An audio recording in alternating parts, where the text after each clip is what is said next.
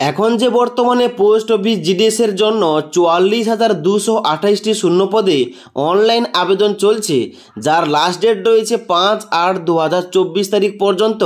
এখানে তোমরা যারা অনলাইন আবেদন করেছ কিংবা অনলাইন আবেদন করতে চাও, তোমাদের সবার জন্য আজকের এই ভিডিওটি খুবই গুরুত্বপূর্ণ। কারণ আজকের এই ভিডিওটিতে আলোচনা করব তোমরা যারা এসসি এসটি ওবিসি এবং ইডাব্লিউএস ক্যাটাগরির স্টুডেন্টস রয়েছো কিংবা অনলাইন আবেদন করেছ, তোমাদের ডকুমেন্ট ভেরিফিকেশানে যে সেন্ট্রাল সার্টিফিকেট চেক করা হবে অর্থাৎ তোমাদের কাছে যে স্টেট সার্টিফিকেট রয়েছে, ওইটা কিন্তু ওখানে গ্রাহ্য করা হবে না কিংবা ভ্যালিড কিন্তু ধরা হবে না।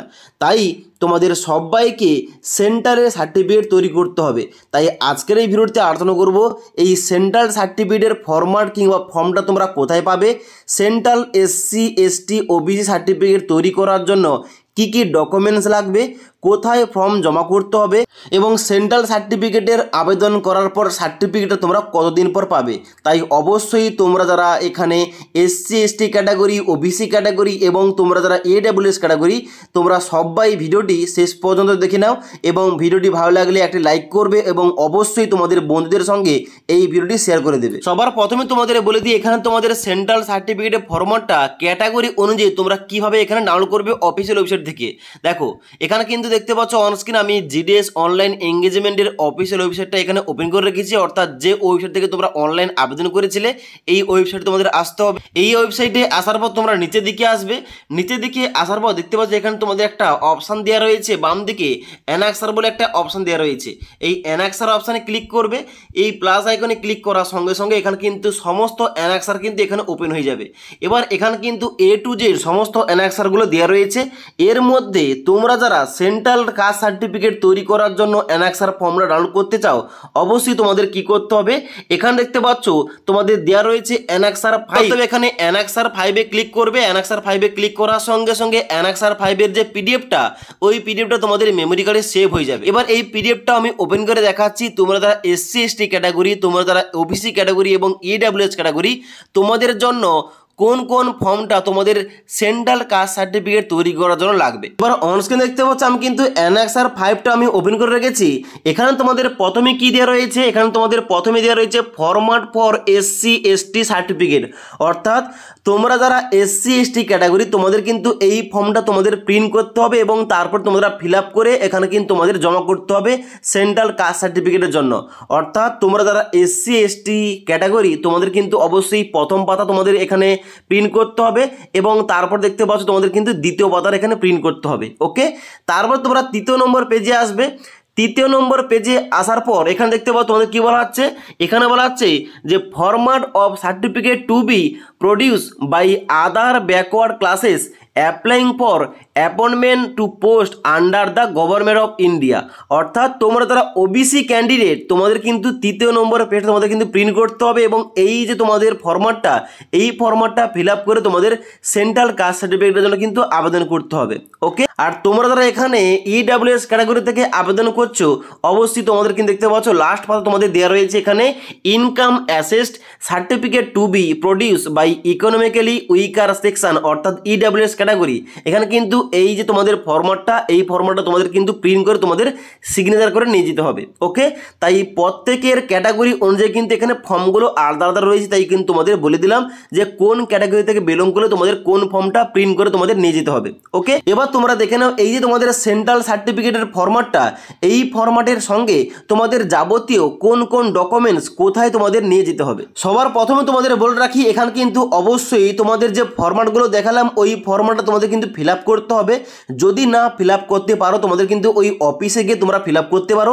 এবার ওই ফরম্যাটের সঙ্গে যাবতীয় ইম্পর্টেন্ট কোন কোন ডকুমেন্টস তোমাদের নিয়ে যেতে হবে, ওই অফিসে তোমরা দেখে নাও।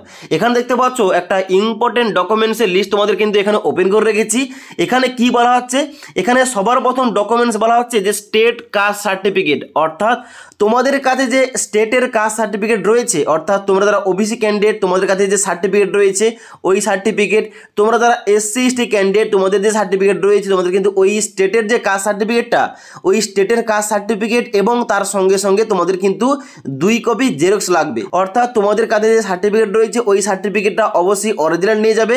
তার সঙ্গে সঙ্গে তোমাদের কিন্তু এখানে দুই কপি জেরক্স তোমরা নিয়ে যাবে। তারপর দেখতে পাচ্ছ সেকেন্ড পয়েন্টে বলা হচ্ছে central caste certificate format to copy অর্থাৎ তোমাদের যে একটু আগে দেখালাম যে এখানে তোমাদের সেন্ট্রাল কাস্ট সার্টিফিকেটটা তোমাদের কোন কোন ক্যাটাগরির জন্য কোন ফর্ম তোমাদের লাগবে, ওই যে তোমাদের ফর্মাটটা ওই ফর্মাটটা তোমাদের কিন্তু দুই কপি নিয়ে যেতে হবে। অর্থাৎ তোমরা তারা ওবিসি ওবিসির ফর্মাটটা তোমরা দুই কপি নিয়ে যাবে। তোমরা তারা এসসি এসটি এসসি এসটির ফর্মটা তোমরা দুই কপি নিয়ে যাবে ওকে তারপরে বলা হচ্ছে এখানে বিডিওর ইনকাম সার্টিফিকেট অর্থাৎ তোমাদের কিন্তু বিডিওর ইনকাম সার্টিফিকেট ওখানে লাগবে। তারপর দেখতে পাচ্ছ নেক্সট তোমাদের বলা হচ্ছে হ্যান্ড রিটেন ডিক্লারেশন আবেদনপত্র, অর্থাৎ তোমাদের একটা আবেদনপত্র লিখতে হবে। তুমি যে পোস্ট অফিস জিডিএসের জন্য আবেদন করেছ, এখানে তোমাদের চাকরির জন্য, এখানে তোমাদের সেন্ট্রাল কাস্ট সার্টিফিকেট লাগছে, অর্থাৎ তোমরা তারা স্টেট সার্টিফিকেট হোল্ডার রয়েছো, তোমাদের সেন্ট্রাল কাস্ট সার্টিফিকেট লাগছে ওখানে, তাই অবশ্যই তোমাদের যে ডকুমেন্ট ভেরিফিকেশনের সেন্ট্রাল কাস্ট সার্টিফিকেট লাগবে, অবশ্যই তোমাদের এইভাবে লিখতে হবে যে এখানে আমি সেন্ট্রাল কাস্ট সার্টিফিকেটের জন্য আবেদন করতে চাইছি, কারণ এখানে পোস্ট অফিস জিডিএসের ডকুমেন্টস ভেরিফিকেশন আমার কিন্তু এই সার্টিফিকেটটা প্রয়োজন। এবার কিন্তু তোমাদের আবেদনপত্রটা লিখতে হবে এবং তারপর তোমাদের নেক্সট বলা আছে আইডি কার্ড। অর্থাৎ এখানে আইডি কার্ডের মধ্যে তোমরা আধার কার্ড কিংবা তোমাদের যে ভোটার আইডি কার্ড রয়েছে যে কোনো একটা কার্ড তোমাদের কিন্তু অরিজিনাল নিয়ে যেতে হবে জেরক্স সহ। এবার তোমাদের নেক্সট বলা আছে এখানে সেলফ ডিক্লারেশন ফর্ম এবার এই যে সেলফ ডিক্লারেশন ফর্মটা তোমরা যদি চাও, ওখানে কিন্তু অফিস থেকে নিয়ে কিন্তু ফিল করে তোমরা জমা করতে পারো। অর্থাৎ তোমাদের সহ ঘোষণাপত্র কিন্তু জমা করতে হবে। তারপর তোমাদের ইম্পর্টেন্ট এখানে তোমাদের লাগবে ডকুমেন্টসটা কি? পাসপোর্ট সাইজের ফটোগ্রাফ অর্থাৎ তোমাদের যে পাসপোর্ট সাইজের ফটোগ্রাফ রয়েছে, অবশ্যই তোমাদের পাসপোর্ট সাইজের রিসেন্ট ফটোগ্রাফ তিন কপি নিয়ে যাবে ওকে ওখানে কিন্তু তোমাদের জমা করতে হবে। এবার নেক্সট ইম্পর্টেন্ট পয়েন্ট তাহলে এই তোমাদের যে ডকুমেন্টসের কথা বললাম, এই সমস্ত যাবতীয় ডকুমেন্টস এবং তার সঙ্গে সঙ্গে সেন্ট্রাল কাস্ট সার্টিফিকেটের ফরম্যাটগুলো নিয়ে তোমরা এই ফর্মটা কোথায় সাবমিট করবে কিংবা কোথায় তোমাদের এই ফর্মটা জমা করতে হবে। দেখো, এখানে কিন্তু অথরিটির এ টু জেড তোমাদের নামগুলো লিখে রেখেছি তোমরা দেখে নাও তোমাদের কোথায় জমা করতে হবে। এখানে দেখতে পাচ্ছ তোমাদের কিন্তু প্রথম লেখা রয়েছে এক নম্বর পয়েন্টে। এক নম্বর পয়েন্ট লেখা রয়েছে যে ডিস্ট্রিক্ট ম্যাজিস্ট্রেট, অর্থাৎ তোমরা চাইলে ডিএম অফিসে গিয়ে তোমরা কিন্তু এই ফর্মটা সাবমিট করতে পারো এবং সিগনেচার নিয়ে আসতে পারো।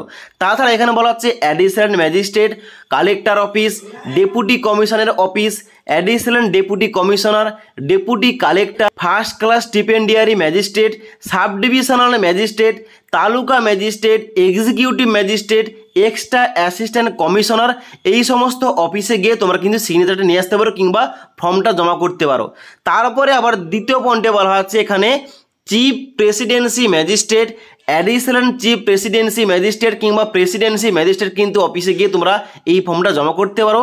এবং তারপরে তৃতীয় নম্বর পয়েন্টে বলা হচ্ছে revenue officer not below the rank of tahsildar and sub divisional officer of the area where the candidate and or his family reside অর্থাৎ তোমরা যে এলাকায় বসবাস করো, ওই এলাকার যদি রেভিনিউ অফিসারের অফিস থেকে থাকে, ওখানে গিয়ে কিন্তু তোমরা ফর্মটা জমা করতে পারো। কিংবা সাব ডিভিশনাল অফিসার অর্থাৎ ওই যে এসডি অফিস থেকে থাকে, ওই এসডি অফিসে গিয়ে তোমরা কিন্তু এখানে এই ফর্মটা জমা করতে পারো। ওকে? তাই অবশ্যই যে সমস্ত অফিসের নামগুলো বললাম, অর্থাৎ ডিএম অফিস রয়েছে কালেক্টর অফিস রয়েছে এসডিও অফিস রয়েছে রেভিনিউ অফিসারের অফিস রয়েছে। এই সমস্ত অফিসে গিয়ে তোমরা কিন্তু এই ফর্মটা জমা করতে পারো। যে কোনো একটা অফিসে গিয়ে তোমরা কিন্তু জমা করতে পারো তোমাদের বাড়ির কাছাকাছি যেটা হবে। এবার নেক্সট ইম্পর্টেন্ট পয়েন্ট তাহলে এই যে তোমাদের ফর্মটা জমা করবে তোমরা সার্টিফিকেটের জন্য, অর্থাৎ সেন্ট্রাল কাস্ট সার্টিফিকেটের জন্য এই সার্টিফিকেট জমা করার পর তোমাদের কতদিন পর এখানে সার্টিফিকেট তোমরা হাতে পাবে? দেখো, এখানে কিন্তু মিনিমাম তোমাদের টাইম লাগে দুই দিন এবং ম্যাক্সিমাম তোমাদের টাইম লাগে সাত দিন। এখন যদি তোমাদের যে অফিসে তোমরা জমা করবে ফর্মটা ওখানে যদি কাজের চাপ কম থাকে, যদি তোমাদের কাজটা তাড়াতাড়ি করা হয়, অবশ্যই দুই থেকে তিন দিনের মধ্যে হয়ে যেতে পারে। আবার যদি তোমাদের বেশি সময় লাগে, তাহলে কিন্তু তোমাদের এক সপ্তাহ কিন্তু টাইম লাগতে পারে। তাই অবশ্যই তোমরা তারা SC ST category EWS category OBC category student তোমরা আবেদন করেছ জিডিএস এর জন্য।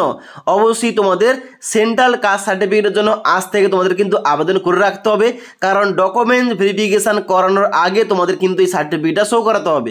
তার জন্য অবশ্যই তোমরা কিন্তু এই সার্টিফিকেটের জন্য যেভাবে তোমাদের স্টেপগুলো বললাম, ওই সার্টিফিকেটের ফরম্যাট তোমরা সবার প্রথম ডাউনলোড করবে। ডাউনলোড করার পর দুই কপি প্রিন্ট করবে। তারপর তোমাদের যাবতীয় ডকুমেন্টস নিয়ে তোমাদের অফিসে ভিজিট করে তোমাদের কিন্তু এখানে সাবমিট করতে হবে। সেন্ট্রাল কাস্ট সার্টিফিকেটের সার্টিফিকেটের আবেদন করার জন্য ওকে এবং তারপর ওই সেন্ট্রাল কাস্ট সার্টিফিকেটের যে ফর্মটা তোমরা দিয়েছ ওটা কিন্তু তোমরা সিগনেচার সহ পেয়ে যাবে। ওই যে সার্টিফিকেটটা ওই সার্টিফিকেট কিন্তু তোমাদের অবশ্যই ডকুমেন্ট ভেরিফিকেশান তোমাদের নিয়ে যেতে হবে ওকে তো আশা করি তোমাদের বইতে বললাম সমস্ত কিছু। এখানে তোমাদের সেন্ট্রাল কাস্ট সার্টিফিকেট তোমাদের কীভাবে তৈরি করতে হবে, কোন কোন যাবতীয় ডকুমেন্টস লাগবে, কোথায় গিয়ে তোমাদের জমা করতে হবে কতদিন পর তোমরা সার্টিফিকেট পাবে? তাই অবশ্যই আজকের এই ভিডিওটির আপডেট তোমাদের ভালো লাগলে একটি লাইক করবে এবং বন্ধুদের অবশ্যই ভিডিওটি শেয়ার করবে যাতে তারা জানতে পারে যে এখানে তোমাদের ডকুমেন্টস ভেরিফিকেশানে সেন্ট্রালে কাস্ট সার্টিফিকেটটা প্রয়োজন। ওকে